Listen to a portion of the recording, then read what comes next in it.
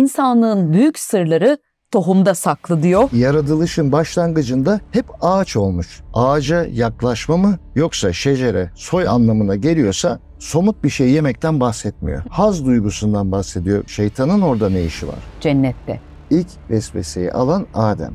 Şeytanın etki alanı senin sadrın oluyor. Sadrın Şu bölge işte diyebilir miyim? Sadırda biriktirdiklerinizle sizi sorgulayacağız. Yaptığınız bir yanlıştan dolayı başınıza bir felaket geldi vesaire. Nereniz yanıyor? İçimiz yanar. Bakın nereye gösteriyorsun? Burayı gösteriyor. Onu topraktan yarattın, beni ateşten yarattın diye bir itirazı yok şeytanın. Ne der? Tine itiraz eder. Maneviyatınızı yükselttiğiniz sürece şekilleniyorsunuz. Bu kıyafetten çıkmamızı sağlayan da iblis ve onun zürriyetidir. Arzdan bir dabbe çıkartırız. Bakın arzdan. İnsanlara der ki diyor, ayetlere yakın bile değilsiniz. Siz hangi ruh seviyesinde öldüyseniz öyle uyanacaksınız. Efendim merhabalar Ferda Yıldırım YouTube kanalında yine seveceğiniz bir konuyla ve sevdiğiniz bir isimle beraberiz. Ben onu televizyondaki yayınlarımda bir defa ağırlamıştım. YouTube'da ilk defa bugüne kısmet oldu. Olgun Aydoğu Tohum isimli kitabıyla bizimle. Araştırmacı yazar Olgun Aydoğu. Olgun Beyciğim hoş geldiniz. Hoş bulduk. Önce büyük sırlar dediniz. Kadim geçmiş, yakın gelecek. Şimdi tohum diyorsunuz. İnsanlığın büyük sırları tohumda saklı diyor. Şira yayınlarından çıktı. Evet. Tohum isimli kitabı elbette biz de bu kitaptan yola çıkarak bugün yine biraz beyinleri yakacağız. Öyle diyorum ben böyle yayınlar için. Yaratılışı konuşacağız daha ötesinde. Neler var neler. Neden bizimle kalsınlar bu yayında? Ee, şöyle, büyük sırlarda bunun ipucunu vermiştim. Yaratılışla ilgili çalışmalarım o kitapta devam Hı ediyordu. hı. Sonlarına doğru e, bu yaratılışla ilgili araştırmalarım derinleşmişti. E, haliyle e, o derinliği Kitaba aktardınız. e, tohuma aktardım. Aşağı yukarı 3 senelik bir çalışmaydı. Bize anlatılanların pek çoğu aslında şehir efsanesi. Araştırdığınız zaman 30 yıldır Kur'an-ı Kerim üzerine gecenizi gündüzünüze katarak çalışma yaptığınızı biliyorum. Evet. Ee, insanlar bu kitapta ne bulacak? Bir de onu sorayım. Şimdi e, biz yaratılışla ilgili herkes bu soruyu kendine soruyor. YouTube'da birçok program var. Geçmişte bizler de çok yaptık. Hepimiz her insan gibi bu sorunun peşinde gidiyoruz. Yani bir kere insan neden yaratıldı, nasıl yaratıldığını e, öğrenmeye çalışıyor. Evet. İşte evrim üzerinden gelenler var. Kutsal kitaplar üzerinden gelenler var. Ve her din bir yaratılış üzerine kurulmuştur aslında bakıldığında. Ee, dinlerin özellikle semavi dinlerin konusu e, dünyada bir yaratım var ama biz buraya nasıl geldik, nasıl yaratıldık ve öte alemle ilgili e, bir düşünce oluşuyor ve dinler gelmeye başlıyor. Semavi dinlerin özelliği bu. Diğer dinlere baktığımız zaman e, işte öncesinde paganizm var. Biraz Zerdüştlük Hepsinde yaratılışla ilgili yaratılışla ilgili bölümler var. mutlaka yaratılış ve e, ilgili bölümler var. Ve ilginç hepsinde, bütün dinlerde e, bu ister semavi olsun ister olmasın e, ortak bir kavram var biliyor musun? Çok ilginç. O benim dikkatimi çekti. Ne o? Ortak. Ağaç. Ağaç. Ağaç kavramı. Hani mesela o ağaca yaklaşmayın diye bildiğimiz Biz- bizim. Tabii. Yani yaratılışın başlangıcında hep ağaç olmuş.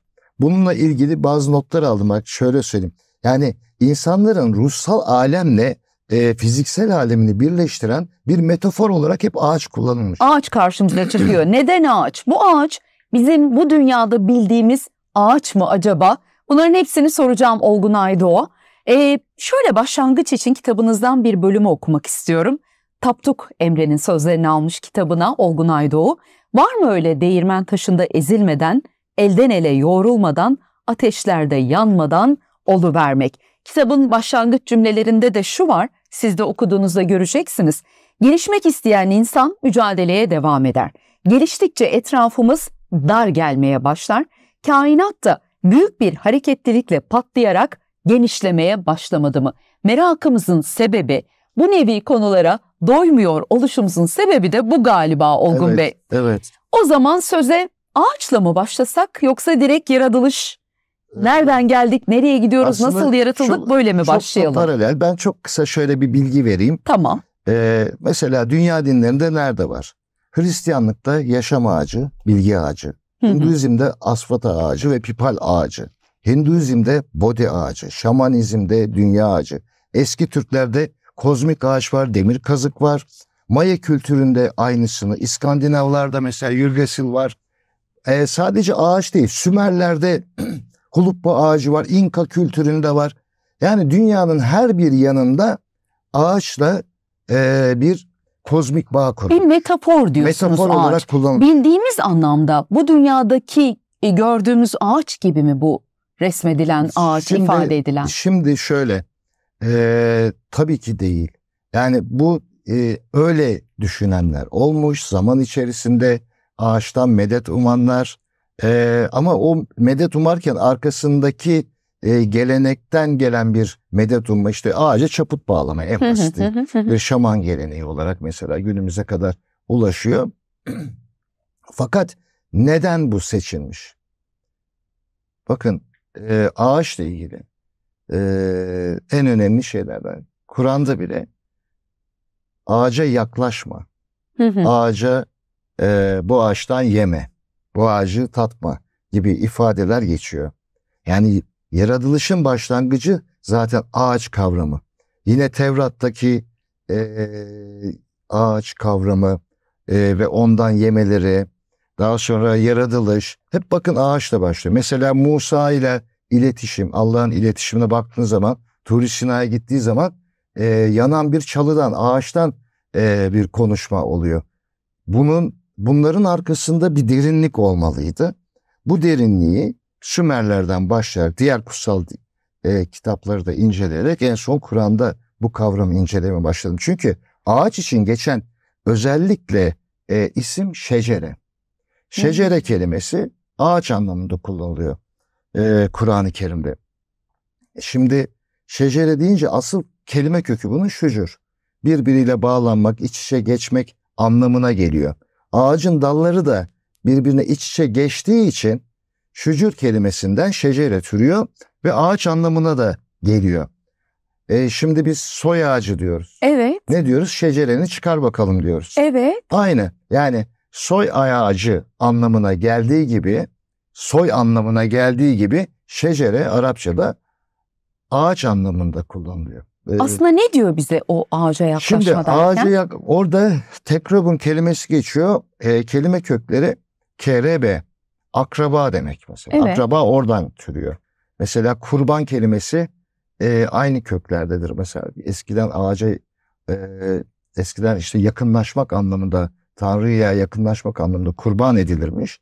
O yakınlaşmayla belki kurban o anlama gelmiş olabilir. E, ama e, işte şöyle anlamak gerekiyor o zaman ayeti.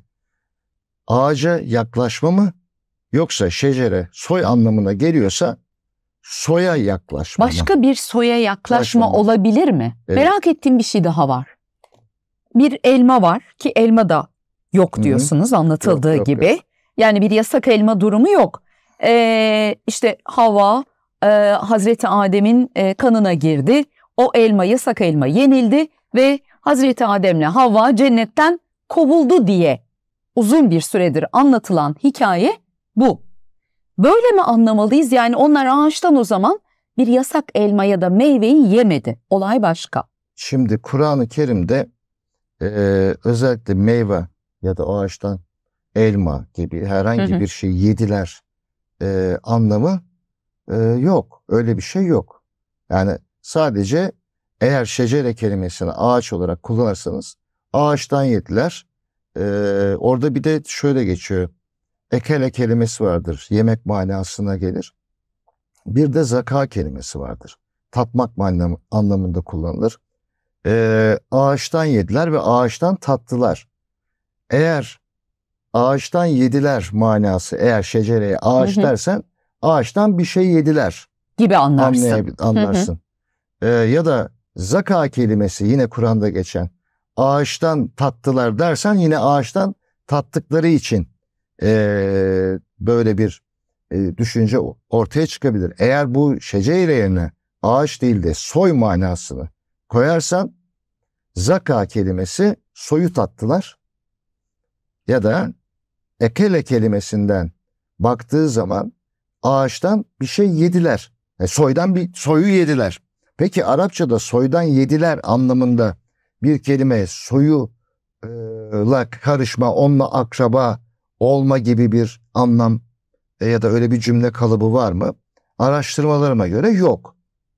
E, peki ağaçtan tatlılar anlamında zaka kelimesi Kur'an-ı Kerim'de başka ne kadar yerde geçiyor? 52 yerde zaka kelimesi geçiyor. 52 yerde. Ve benim bulduğum 52 yerde kelime kökü ZVK. Zevk oradan geliyor. Zevk aldılar. Nasıl? Haz duygusu.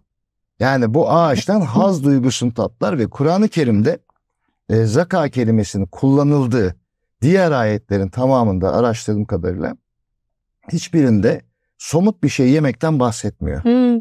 Haz duygusundan bahsediyor. Mesela Allah'ın rahmetini tattılar, azabı tattılar gibi. Hmm. Ağızla soyut Orada tadılan bir şey var o zaman. O da o soyut bir tadım olarak gözüküyor. Soyut bir kavram olarak gözüküyor. Ekele kelimesine baktığımız zaman mesela şöyle şu kelimede de ekele kök harfleri kullanılıyor. E, mirası haksızca yediler diyor ayette.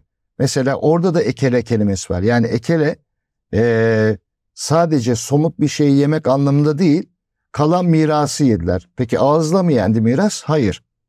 Bu anlamda da ekele kullanılmış. O yüzden ağaçtan o ya da soydan hangisi olabileceğini iki anlamda da Kur'an e, Kerim'i inceleyerek kitaba başladım ve oradan devam ettim. Daha sonra ilginç sonuçlarla karşılaştık. Nasıl ilginç sonuçlarla karşılaşıyoruz? Ee, Adem ve eşi cennete yerleştirilmeden evvel onlara şöyle tembih e, yapılıyor. Siz burada açlık, sıcaklık, çıplaklık hissetmeyeceksiniz. Şimdi e, şimdi cennet kavramı var. evet. Şimdi ben sana şöyle bir soru sorayım. Cennet deyince e, izleyicilere de aynı şeyi soralım. Herkes şimdi cennetin cennet. mi bir tasvir etsin kafasında? Cennet deyince aklımıza ilk gelen ne nedir? Benim aklıma ilk gelen böyle işte gürül gürül akan ırmaklar, nehirler, denizler, eee, istediğimiz her şeye ulaşabilme duygusu, sıkıntının, derdin, hastalığın olmadığı, kafamda böyle cennet denildiğinde tropikal yerler vardır ya, hepimiz böyle aa orada olmak isteriz. Öyle bir yer geliyor benim Peki, aklıma. Orada kötülük var mıdır? Yok. Vesaire yoktur. Yok. Peki Adem'le Havva nereye yerleştiriliyor? Cennet, Cennete yerleştiriliyor. cennetteler. Peki cennet bu boyutta bir yer mi? Ee, bir duyduğum e, dünyada yeryüzünde cennet bahçe anlamına da geldiği için dünyada bir yer olarak O Aden diye geçer. Evet. O Tevrat kaynaklı bir bilgidir. ama genel bilgi cennet boyutunun bu dünyada olmadığı. Olmadı. Şimdi Adem'le eşi cennete konuluyor değil mi? Evet, Peki şeytanın orada ne işi var? cennette. Evet orada vesvese veriyor orada çıplak kalıyorlar ya yasak olan şeyi yiyorlar da kovuluyorlar ya. O zaman cennet kavramında şeytan ya da kötülük e, gibi kavramlar yoksa e, şeytanın cennette ne işi var? Değil mi? Sizden alacağız bu soruların yanıtlarını Olgun Bey. Şimdi o zaman cennet kavramına bakacağız. Cennet e, cenin, e, can, cin bu can, bu kelimeden türüyor.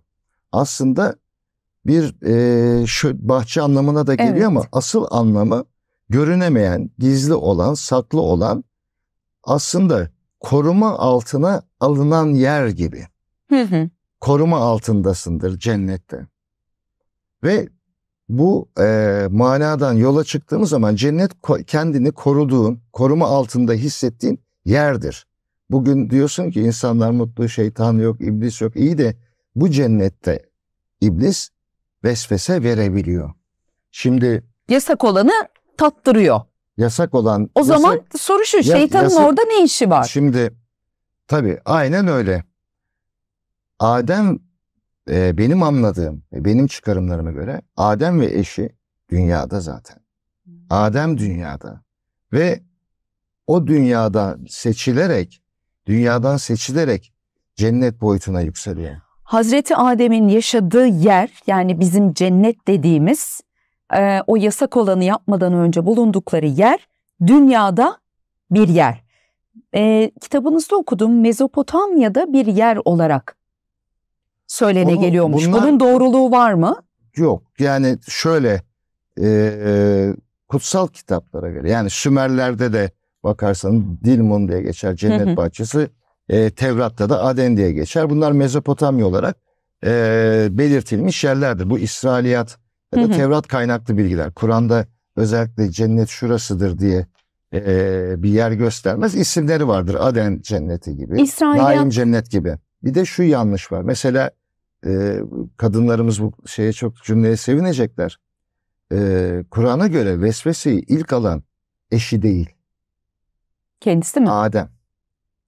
İlk vesveseyi alan Adem.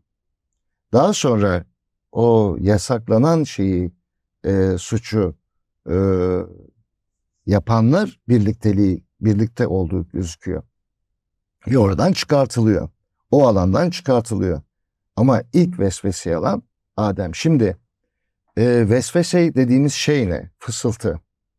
Ve dikkat edin cennetten bu e, Adem çıkarılmadan evvel Adem'in şeytanla bir birebir konuşması yok.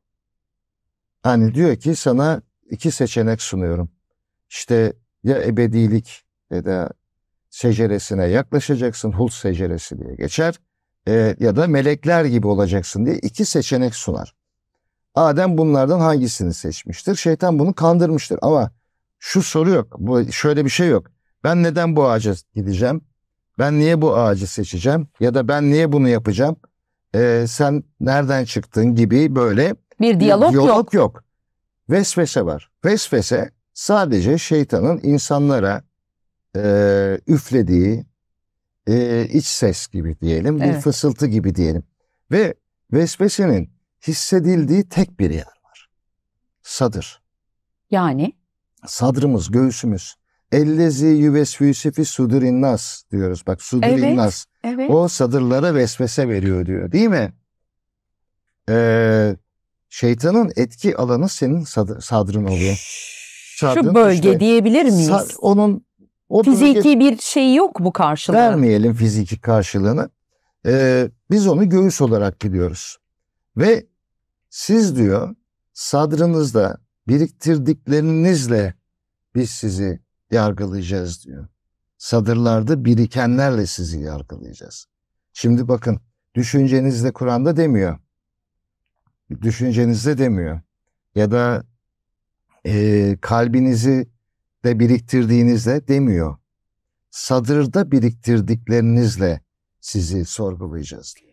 O yüzden ayette Rabbim benim sadrımı genişlet ayeti Aynen. mi var? İnfiraz suresi. Kale Rabbi şah li sadri. Tabii. Ee, şimdi sadrın genişlemesi Taha suresi tabii. 23. ayet. Sadrın genişlemesi neden önemli? Ee, sadrın e, dolmasını gıl denen bir kelime var. Diyor ki gılleri kaldırdık. Yani sadrı tıkayan unsurları kaldırdık ve oradan e, senin sadrın genişli, genişledi. Biz hayatımızda ne kadar sadrımızı genişletersek e, o sadır sizin hayatınızda bir takım basiretleriniz, düşünce şekliniz, görmeniz, bakışınız, her bir şeyiniz değişmeye başlar. Cenneti kazanma yolu aslında sadırdan mı geçiyor? Tabii ki, tabii. Sadır, şimdi şöyle diyelim, sadırda birik, birikenler var. hı. Kumbara gibi. Siz oraya biriktirdiniz ve hayatınızda kötü şeyler oldu. Yan, yaptığınız bir yanlıştan dolayı başınıza bir felaket Hı hı. geldi vesaire. Nereniz yanıyor? İçimiz yanar. Bakın nereye gösteriyor? Burayı gösteriyor. Heh, işte. Aynen öyle. Sadır yanmaya başlar. Vurmaya başlar. Sadır yanmaya başladığı zaman ne yapmaz başlarsın? Düşünmeye başlarsın. Ben ne yaptım da başıma bu iş geldi? Pişmanlık. Pişmanlıklar. Yaptığın şeylere, başına gelen şeyin sebebini bulmaya çalışırsın. Ki o yanlışı bir daha tekrarlayamayasın. Pişmanlık derim ben hep. Cehennem ateşi gibidir, yakar Sadır insanı. yanar işte. Yanmadan cehennemler niye vardır? Cennete geçmek için Evet. vardır. Çünkü cehennem arınma merkezidir. Cehennemde yanarak arınırsın, cennete geçersin. Cehennem olmasaydı ne olacaktı? Arınma mekanizması olmayacaktı. Şimdi haliyle sadır yanmaya başlıyor. Sadır yanmaya başladığı zaman o griller erimeye başlıyor. O eridikçe sizin sadrınız açılıyor ve siz şunu biliyorsunuz. O sadrın açılması için de yaptığınız yanlışı bulmanız lazım. O yanlışı bulduktan sonra diyorsunuz ki bir daha ben bu yanlışı asla yapmam diyorsunuz. Tövbe. Bu da tövbe oluyor. Aa, harika. İşte bu sadırda birikenler o tortulara gıl deniyor. Gıl'in anlamı ne?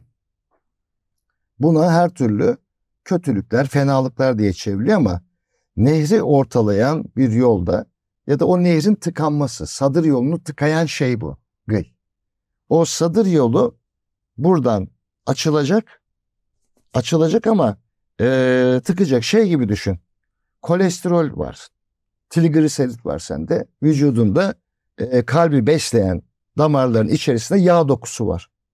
O yağ dokusu senin kanının dolaşmasına engel oluyor. Bunun için ne yapman gerekiyor? Spor yapman gerekiyor ki o yağlar erisin ya da yemene içmene dikkat edeceksin ki o damarları tıkamayacaksın. O damar yolunun açılması gerekiyor. O damar yolunun açılmasını e, sağlaman için o yağların erimesi gerekiyor orada. Yoksa e, stent takıyorlar, o yolu genişletiyorlar. Sadır işte sadırda aynı onun gibi. Gıller o damarı tıkayan e, o suyun akışını engelliyor. Engelliyor. Gıl dediklerimiz bizim bu reel... Bunun asıl manası nehri ortalayan yol demek. Yani o anlamda da kullanılıyor. Yani parmağa yüzük takıp nasıl kan akışını engelliyorsan e, vücudundaki damardaki o e, yağlar nasıl damarlarını tıkıyorsa sadır da senin e, cennet bahçelerine ulaşma yolunu tıkıyor. E, gıller, gıller tıkıyor. Gıller sadırda gıller tıkıyor.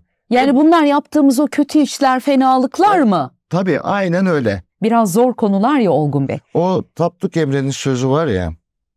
Ne diyor? Kolay mı olacak sandın diyor ya hani başta evet. az önce okumuştum tekrar bulayım. Bir kere daha söyleyelim onu.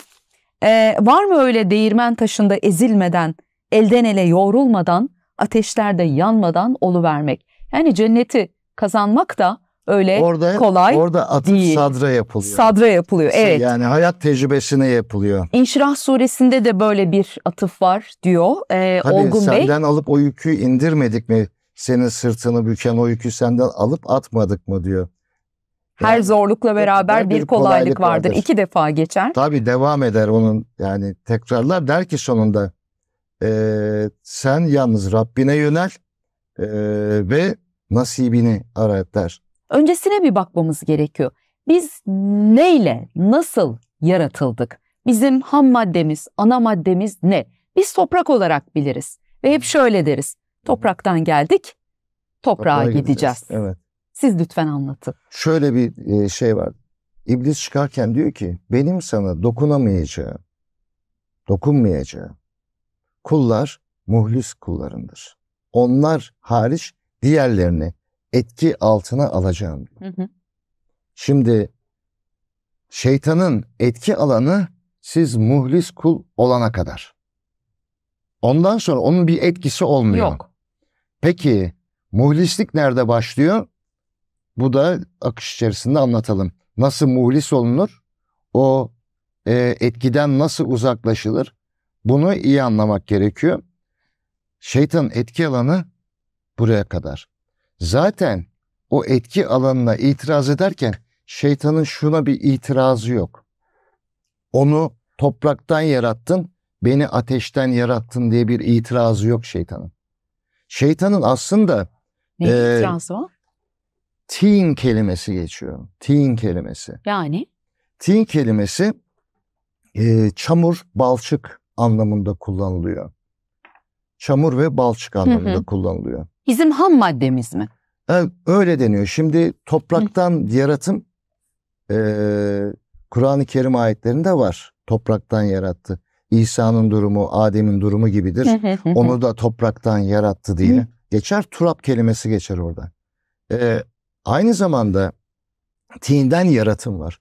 İblisin itirazını nelere itiraz etmiş baktığımda mesela e, eğer yanlış hatırlamıyorsam iblisin insan kelimesiyle itirazı yok. Yaratılışta. insan kelimesiyle. Beşer olarak var. Beşer kelimesi olarak var da insan kelimesi olarak bir yaratıma itirazı yok. Salsal min hameyin meşnundan yarattığın bir beşere mi e, ben secde edeceğim der. Tinden yarattığın ne der, tine itiraz eder. Ama topraktan yarattığın insana bir itiraz söz Tam konusu olarak yok. şeytanın o itiraz ettiklerini açmak lazım. Tabii işte onu Neye açacağız. itirazı var? Niyetin. Şimdi ben de onu diyorum. Hani biz topraktan yaratıldık. Bizim topraktan yaratılımıza bir itiraz yok. Hı hı. Turaptan yaratan e, yaratıl, yaratan bir insana itiraz yok. Salsal min hameyn messundan yaratılan bir beşere e, tinden yaratılan insana itiraz var. Tin de çamur deniyor. Kur'an-ı Kerim Secde Suresi 7, 8 ve 9'da Hı hı. şeytanın, iblisin özür diliyorum, itiraz ettiği yapıdan bahsediyor. Tamam. Bu yapı tin. Tamam. Ee, ve şöyle bir şey diyor. O ki secde 7'de yarattığı her şeyi en güzel e, şekilde yaptı. İnsanı yaratmaya ilk önce tinden başladı. Yani balçıktan başladı. Burada bede kelimesi geçiyor. Bede bir şeyin başı demek. Yani başlangıcın oradan olduğu.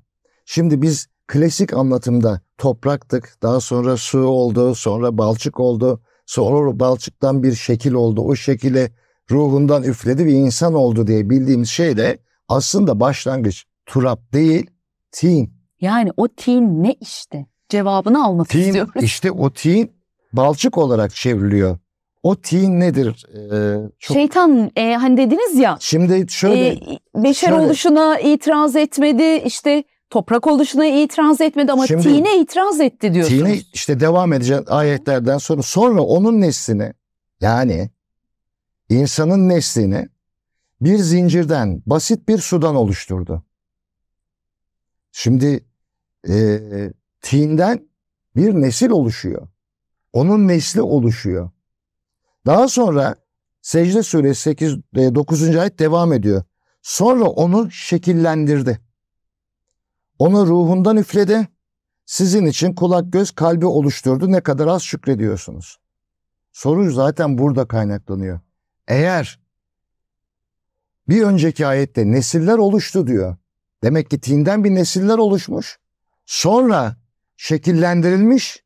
E, şekillenmeyen kulağı gözü olmayan insanoğlu nasıl nesli türeyecek? O zaman iki tane soru çıkıyor.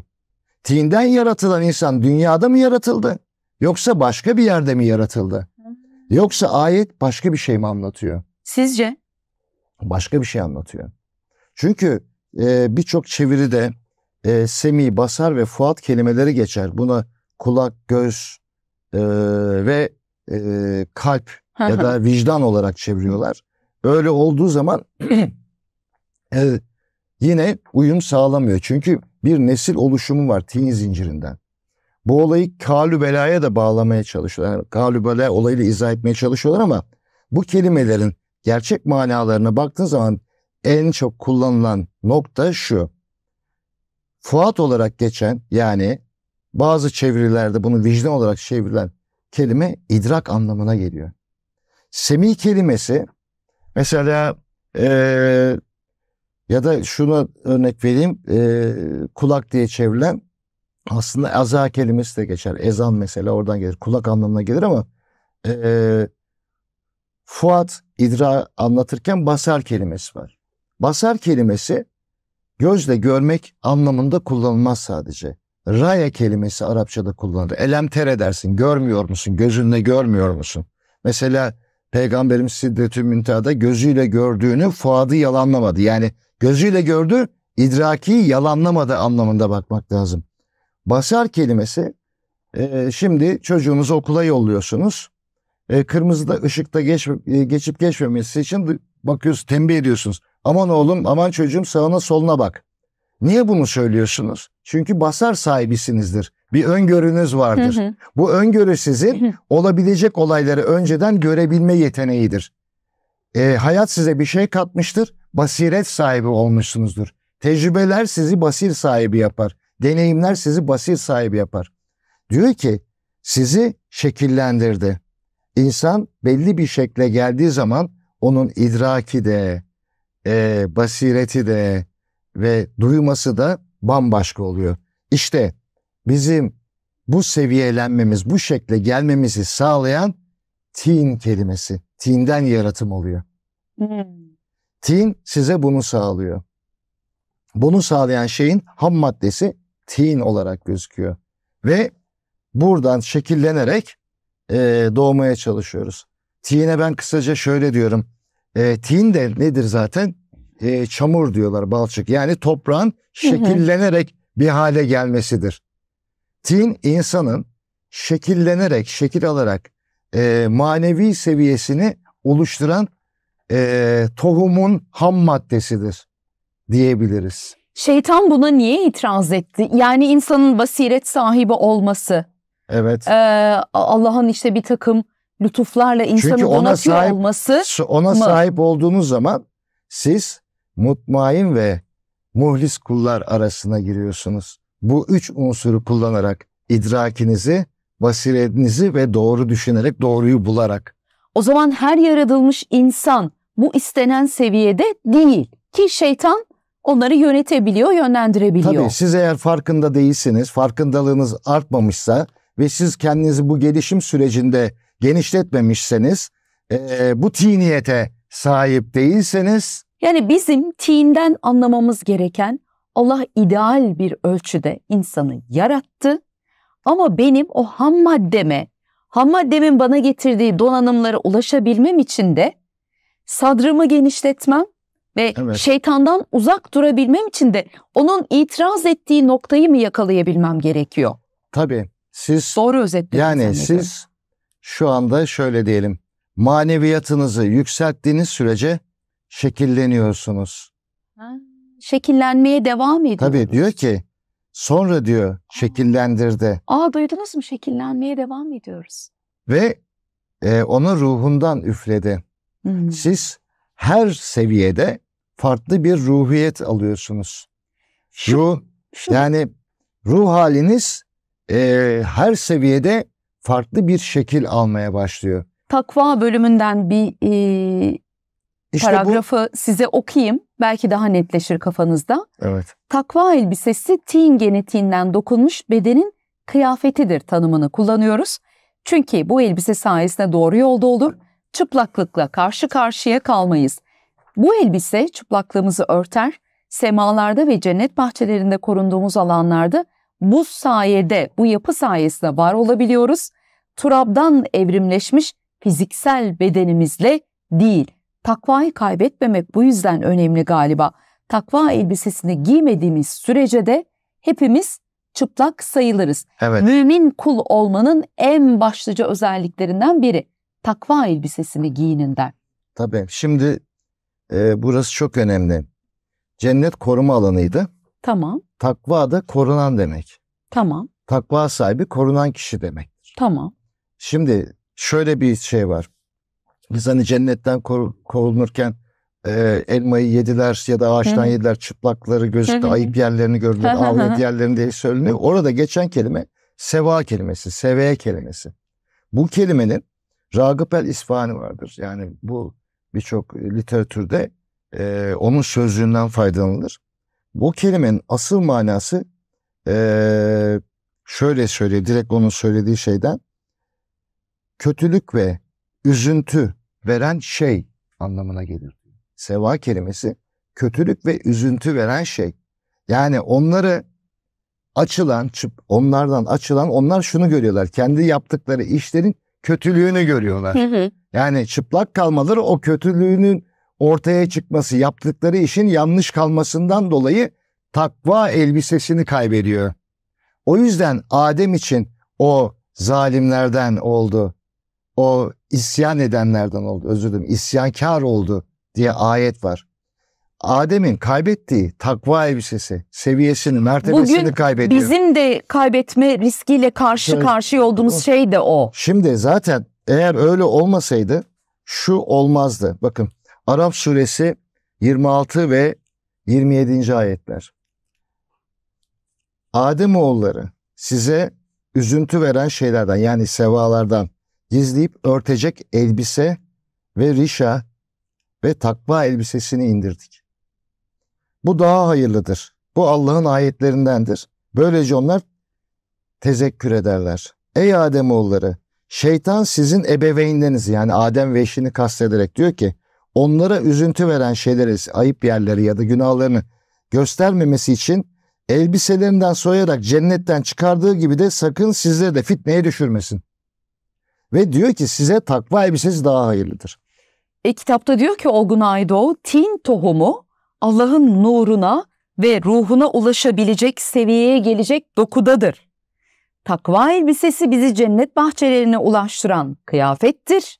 Bu kıyafetten çıkmamızı sağlayan da iblis ve onun zürriyetidir diyor. O- Şimdi daha netleşti. Oraya o takva elbisesini sen giymeye başlarsın. Yolculuğa çıkmışsındır. Bu yolculukta önce e, iblisin etki alanında olduğu yerler vardır. Orası da cennet.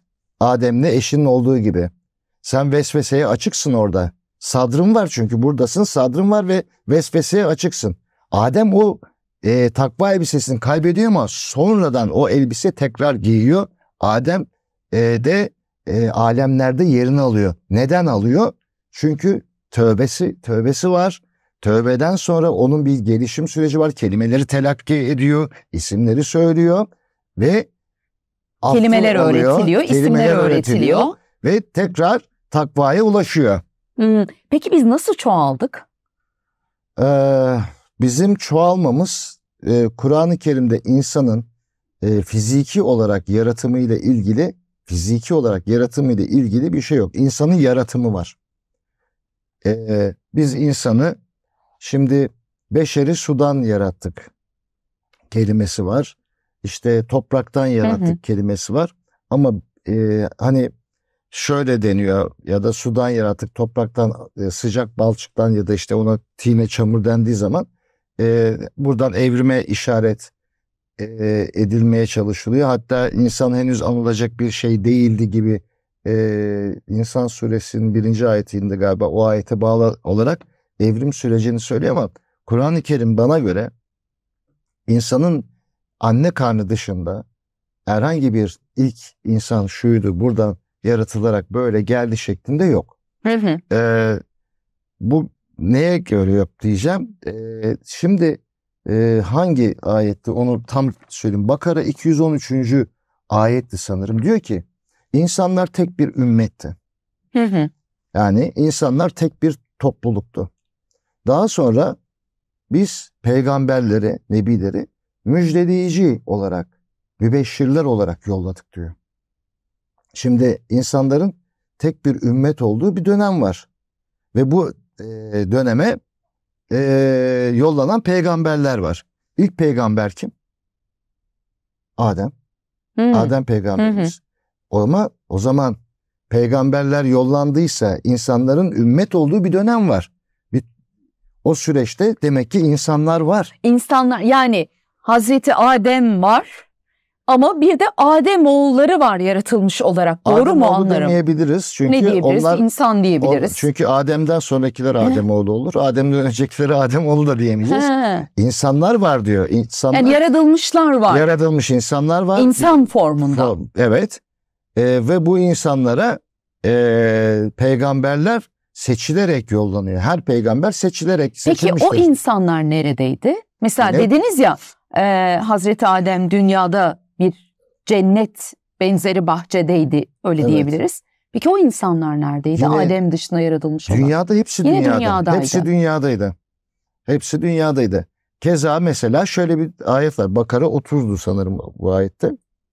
Diyor ki ben bir halife atayacağım. Evet. Halife olabilmesi için öncesinin olması gerekir. Yani bir önce olacak ki on, e, önce olacak ki yani selef olacak ki halife olsun. Evet. Selef evet. selef olmazsa halife olması mümkün değil. Yani kural bu. Ee, şimdi halife atanacaksa halife atanacak kişinin seleflerin içinden seçerek onlara halifelik yapılması lazım. E, ilk yaratılışta ben bir halife yaratacağım, atayacağım dediğinde meleklerin şöyle bir serzenişi oluyor. Diyor ki yine kan dökecek orada fitne fesat çıkaracak birisini mi yaratacaksın? diye devam ediyor. E, demek ki daha önceden bu tip olaylar olmuş ki e, oradaki kargaşayı önlemek için işlerinden bir tanesi seçilip onlara halifelik yapacak. İşte insanlar tek bir ümmetti. Daha sonra nebileri yolladık diyen ayet var Bakara 213'te. Bakara 30'da da bu ayet var. Yani Adem onların içinden seçilmiş ve insanlara doğru yola göstermek için ilk e, peygamber. İlk peygamber olarak e, söyleniyor. Tabii yani bu nasıl çoğaldık sorusu önemli bir soru. Çünkü doğru açıklanmazsa ortaya bir takım yanlış anlaşılmalar çıkabiliyor. Bazı yanlış anlaşılmaları giderelim mi? Evet. Yanlış bilgileri. Sonra da Betül Arz'ı soracağım. Vallahi çok acayip bir konu. Hazırlayın siz de kendinizi. Sizin de konuşmak istediğinizi biliyorum. Bir kere e, Tevrat kaynaklı olduğu söyleniyor.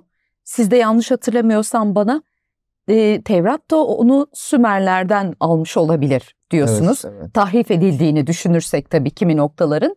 Bir kere kadın e, erkeğin kaburgasından yaratılmadı. Evet. Erkek ve kadın aynı ham maddeden yaratıldı doğru mu? Evet. Yaratılışa dair bizim bugün hala doğru bilinen yanlışlar ne? Şöyle çok kısacık bir sıralayayım birkaçını izleyicilerimize. Evet. Bir, kadın erkeğin kaburgasından yaratılmadı. Başka? İlk vesveseyi kadın Kadın almadı. İlk vesveseyi Hazreti Adem aldı diyor. Evet. Sonra? Sonra e, şunu biliyoruz.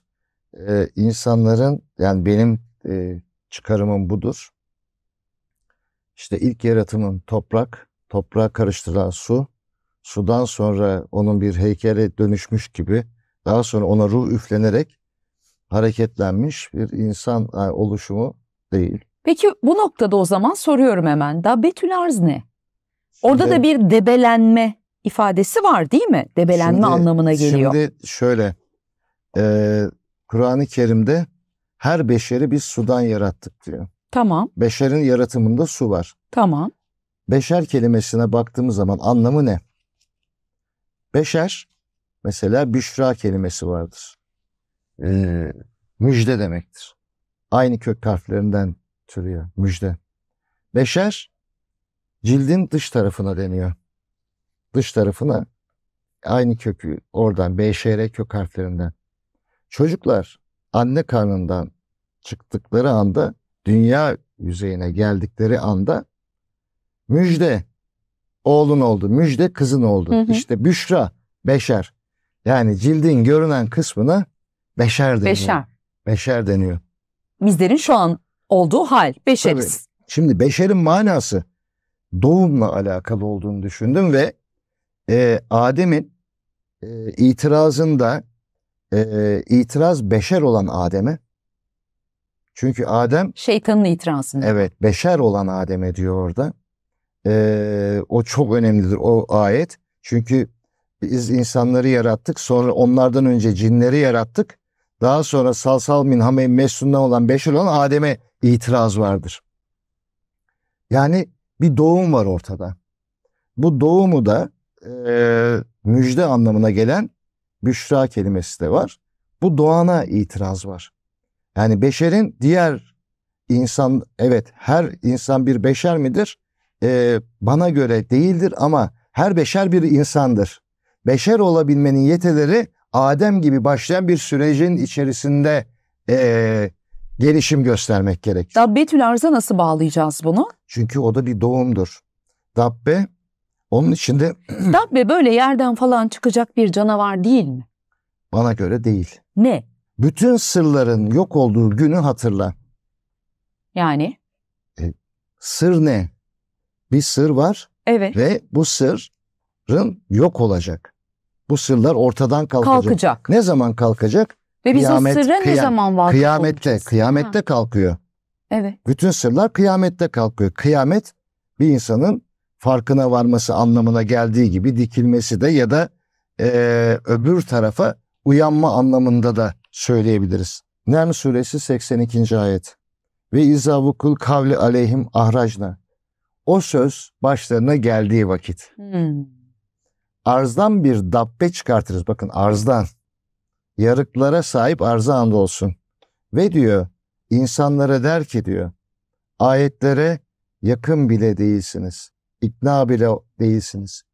Yani arzdan çıkacak olan size ayetlerin yakın olmadı. Bir ayetlere yakın olmadığını söylemek için o ayetin doğru olduğunu, neyin doğru olduğunu, sizin yanlışınızı söyleyecek. Kime söyleyecek? Kendinize. Siz varlığınızı inşa ettiğiniz zaman sizin varlığınız her doğduğu sürece sizin e, ayetlere yakın olmadığınızı farkına vardıracak. Kitabınızdan bir bölümü okursam belki izleyicimiz için de perçinlenmiş olur bu bilgiler. Diyor ki Olgun Bey, hidayet basamaklarını tırmanmaya başlayan her tarik yani doğan farklı seviyelerde mücadelelerle yani debelenmelerle karşılaşır. Bu mücadeleler ve alametler kişinin manevi yolculuğunda karşılaştığı zorluklar ve zor sınavlardır. Nefs bu noktada devreye girer. Vesvese genişleyen sadrı kapamak isteyecektir. Bu noktada sabır ve teslimiyet önemlidir ve zorlukların ardından kolaylık olacağına emin olmak gerekir. Nefsine yenilmeyen, mutmain olan muhlis kullardır ki bu seviyeye gelen insana şeytan yani olumsuzlukları doğuran negatif haller etki etmez. Siz arzdan doğduğunuz zaman sizin o gelişiminiz, siz eğer bitkiyseniz siz nasıl arzda bitki bittiniz? O bitki ne oluyor biliyor musunuz? Her geliştikçe şecer oluyor. Şecere. O da soy oluyor işte. Soy oluyor.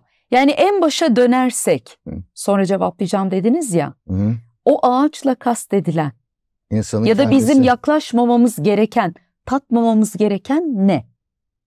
yanlışlıklar, yanlış şeyler, doğru yolda olmak. Hmm. Sırat-ı. Doğru yolda olmak. Siz yanlıştan çıktığınız zaman o elbiseden çıkıyorsunuz.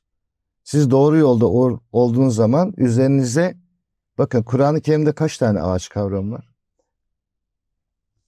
Cennette hangi meyveler var diye ben size O sorsam. incir, zeytin, Nar, bize nar e, üzüm, söylenen, muz. e, bahsedilenler bunlar. Altı tane sayılıyor. Ee, yedincisi Sidretül Müntaha. Altı tane ağaç, yedinci ağaç Sidretül Müntaha. Tuğba ağacı da söyleniyor ama o daha çok e, ağaç olarak, şecer olarak geçmez. E, müt, müttesebatta vardır.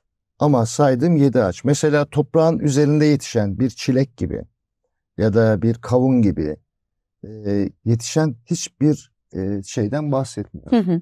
Ya da cennette denizlerden bahsetmiyor. Bize o vaat edilen ağaçlar da sembolik anlamda bizim buradaki ağaç algımızla aynı değil mi acaba? Bakın şöyle söyleyeyim. Kaç tane ağaç var Cennette sayılan. e, sayılan? Yedi Bakın, dediniz şimdi. Şuradan şunu kaçırma. Toprakta yetişen, üzerinde yetişen, ağaç olmayan hiçbir meyve sebze cennette anılmıyor. Hmm. Ama bu zeytin olsun, üzüm olsun, ağaçta yetişenler cennet bahçelerinde misalleniyor. Hmm. Neden onlar değil de ağaçlar misalleniyor? Hmm. Altı ağaç, yedinci ağaç meyve vermiyor. Yedinci ağaç en tepe nokta. O da Sidretül Münteha. Yani Son sınırdaki ağaç. O da Peygamber Efendimizin eee Cennet-ü Meva yani oraya çıktığı yerdir. Çünkü o da meyve vermez. Çünkü ondan sonra Nebi gelmeyecektir. O son Hmm. hatemi Nebidir. nura da hep vurgu yapılır ya biz onu böyle ışık, bir ışık hüzmesi bilmiyorum. Şu, dünyadan baktığımız algımızla böyle tahayyül ediyoruz. Bilmiyorum belki sizin nur için söyleyecekleriniz vardır. Ben bu bölümü okuyayım öyle tamamlayalım. Bunun için önümüzde giden nuru diyor yani peygamberimizi kastederek onu takip etmek gerekir. Bu nur bizlere rehberlik eden elçiler tarafından aydınlığa ulaştıracak ayetlerdir ve ondaki nuru fethetmektir. Bu fetihler bizi aydınlatacaktır. Nur Allah'ın ilminin sonucu üzerimize yansıyan aydınlıktır. Bu nur zeytin ağacının yağından tutuşturulur ve bu ağaç Tur-u Sina'da biter. Nur Allah'ın ilminin ışığıdır, nebilerin ilettiği aydınlıktır diyor kitabının final cümlelerinde Olgun Aydoğu. Evet. Sizce nur? Nur bize Evet, ne anlatıyor? Ee, nur, e, ışık en güzeli. Işık, aydınlık. Kur'an-ı Kerim'de zaten aydınlık ve karanlık e, oldukça fazla vurgulanır. İşte zulümet kelimesi. Mesela e, aydınlık nehar demektir. Aynı zamanda nehir demektir. Ve e, 37 yerde sanırım e, cennetin altından nehirler akar diyor. Evet. Neden denizlerden bahsetmiyordu? O nehirlere bu kadar dikkat çekilmiş. İşte onlar aydınlığa getire, götürecek yollardır. Ee, bizler o şecerenin içerisinde yol alırız. İnşallah. Ayette der ki onun şeceresini siz mi inşa ediyorsunuz yoksa inşa eden biz miyiz der. Peygamberimizin erkek evlatları vefat etti. Yani Evet. Peygamber Efendimiz'den soy bu anlamda yürümedi. Evet. Bunun bir hikmeti, sebep hikmeti var mı? E Bunun tabii böyle oluşunu. çünkü peygamberlik oğuldan oğula geçiyor. Hep erkektir.